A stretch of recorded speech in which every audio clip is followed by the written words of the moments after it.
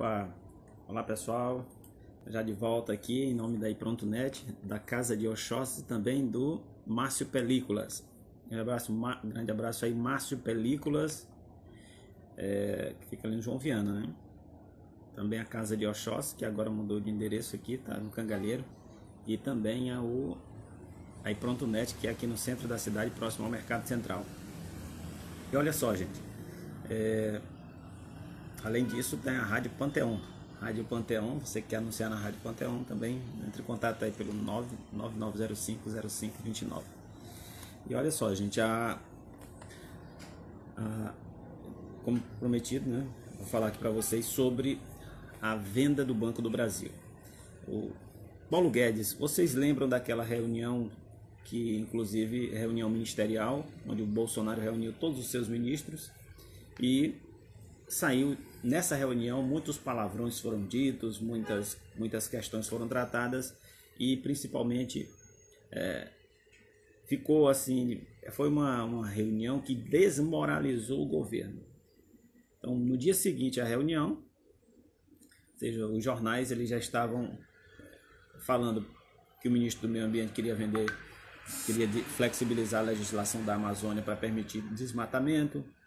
É, também é, a ministra a ministra dos Direitos Humanos, que é a, a Damares também falou um monte de bobagem, também o Paulo Guedes falou muitos palavrões, inclusive disse que era importante vender a porra do Banco do Brasil, foi assim que ele disse.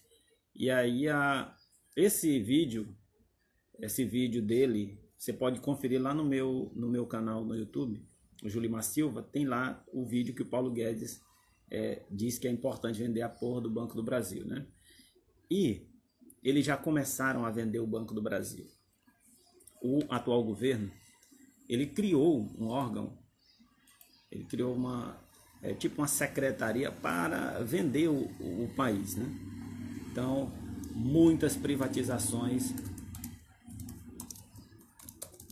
É, eu vou até consultar aqui é, como, como está agora as privatizações do governo do Bolsonaro. Né? Mas é, é, são muitas privatizações que já foram feitas e outras mais vão ser feitas. A, a, a que está na pauta recente agora é, é exatamente a Eletrobras. Mas só que o Banco do Brasil, naquela reunião, o Paulo Guedes já havia sinalizado que pretendia vender o Banco do Brasil. E agora eles já começaram a fazer isso. De que forma? Eles começaram a esquartejar o banco por dentro, né? Então eles estão fazendo por onde quase ninguém vê, mas as notícias estão vazando. Qual é essa notícia? O Paulo Guedes, ele foi o fundador na década de 80 do banco chamado BTG Pactual. Esse banco, o BTG Pactual, ele foi fundado pelo Paulo Guedes. E, coincidência ou não, o BTG Pactual acaba de ganhar uma carteira de crédito de recebíveis. É tipo assim, o banco, todo banco ele empresta dinheiro para as pessoas e vai fatiando esse dinheiro no futuro, né? Ou seja, eu, eu, eu pego um dinheiro no banco do Brasil e aí eu vou pagar em seis, cinco, seis anos, sete anos, enfim, dependendo da quantidade de parcelas que eu tenho que pagar. Então, o Banco do Brasil tem um recebível dentro do banco, tem uma carteira de 2,9 bilhões de reais. Né? Essa carteira ela ela foi repassada sem licitação, sem nenhuma, sem nenhuma, sem nenhum contrato formal para o BTG Pactual. Banco que, como eu já havia dito, foi fundado pelo Paulo Guedes na década de 80. Então, qual é a notícia, né? Então, que o ministro Paulo Guedes, ele já havia anunciado que é, privatizações voltariam a acontecer, ou seja, por conta da pandemia eles estavam parados, mas já estão, já estão se mobilizando para uma nova leva aí de privatizações. Mais de 60 empresas já foram privatizadas no Brasil. A nova ameaça agora é a do Banco do Brasil e ele anunciou essa venda da carteira de crédito. Agora veja, veja você, se o, Banco do Brasil ele tem essa carteira, essa carteira de 2,9 bilhões de reais e ela foi repassada ao BTG Pactual, sabe por quanto? Por 371 milhões de reais. Ou seja, um valor assim muito abaixo muito abaixo daquilo que é recomendado pelo por quem entende aí da, do mercado financeiro, o que representa que essa carteira também, se o banco comprou, ela também é, significa que é uma carteira que pode ser recebida também com facilidade. Eles não vão investir sem a certeza do lucro.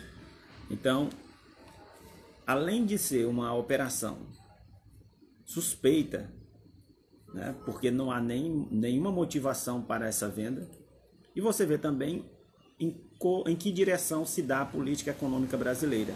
Ela não é em favor de fortalecer as instituições do Estado. Ela é em favor de descaracterizar a é descaracterizar toda toda a estrutura estatal que foi montada ao longo do tempo, porque muita gente trabalhou, muita gente deu sangue para construir o Banco do Brasil e agora estamos na iminência da venda desse banco para fortalecer quem? Ao mercado financeiro e à, à economia internacional.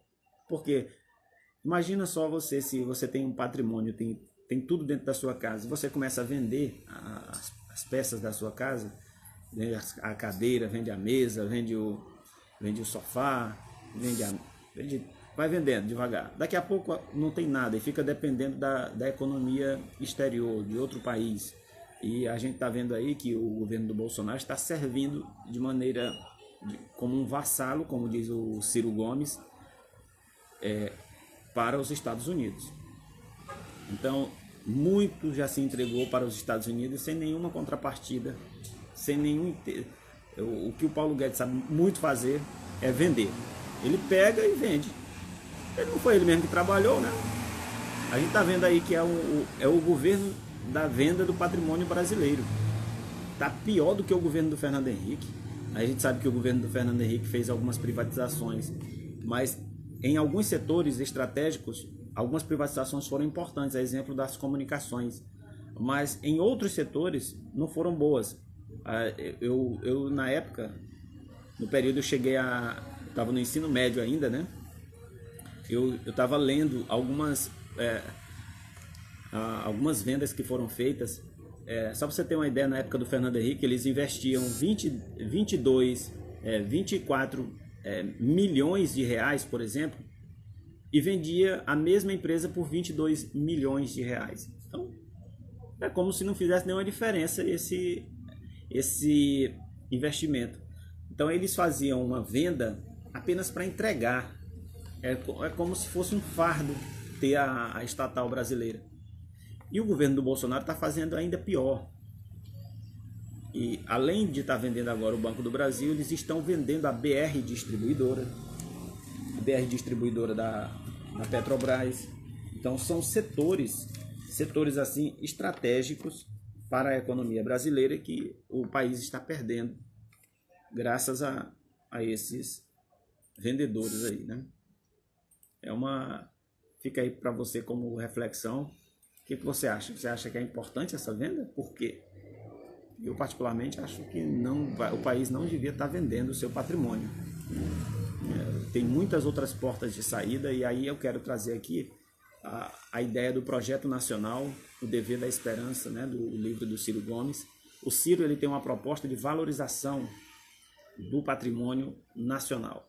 Então, em vez de vender, como o Paulo Guedes e o governo do Bolsonaro está fazendo, o Ciro quer estatizar ainda mais. Ele quer valorizar a indústria nacional, ele quer valorizar, é, fortalecer as instituições já existentes, porque isso garante soberania para o país. Então, uma das propostas desses vídeos que eu vou ficar gravando agora é trazer a ideia do projeto nacional de desenvolvimento que o Ciro Gomes defende. O Ciro está se propondo como pré-candidato à presidência da República e está trazendo uma ideia muito importante. Ele publicou agora recente um livro chamado Projeto Nacional Dever da Esperança, que traz todo, toda a ideia do, do projeto nacional com, meta, com metas de curto, médio e longo prazo, ou seja, dizendo de onde vai sair o dinheiro, quanto custa, o prazo, enfim, todo um planejamento, coisa que o Brasil não tem até agora. Então, é como se a gente estivesse vivendo sem projeto, vivendo a cada quatro anos. E aí, é, só com projeto de governo, não com projeto de Estado. E aí, a, a proposta do Ciro Gomes, ao apresentar o Projeto Nacional de Desenvolvimento, é dizer: olha, nós precisamos valorizar a indústria nacional, reindustrializar o país, pagar bons salários, reativar as obras paradas, fazer com que, as, com que o país funcione, fortalecer, mudar a lógica do mercado porque hoje, hoje quem é mais favorecido por essa política econômica do Paulo Guedes são os, os banqueiros e a população não está, sinceramente, ela não está vendo na prática o benefício da política econômica brasileira, porque ela é voltada para o mercado financeiro, ela não é voltada para a economia real. E aí fica essa nossa reflexão aí diante dessa venda já começou a venda do Banco do Brasil e eles querem fazer isso num prazo de três anos. Então, é, muitas instituições já se manifestaram dizendo que é, não concordam com essa venda, né? E ela é muito suspeita porque trata-se de um banco fundado pelo Paulo Guedes. Então a gente está vendo aí um crime também. E num governo, num governo do Ciro Gomes, Paulo Guedes pagará tranquilamente por essa por essa situação que ele está promovendo de venda do patrimônio brasileiro. Paulo Guedes não tem outro interesse, você pode ter certeza. Ele não tem outro interesse a não ser vender o que o país tem.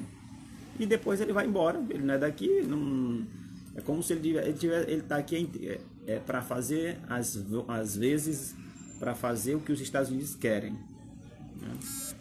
Um dia desses o Brasil passou a maior vergonha mundial, eu acho, onde quando um general brasileiro foi praticamente humilhado na frente lá do, de um general norte-americano, onde ele disse que o, aquele general estava lá pago pelo Brasil para servir a eles. Imagina isso.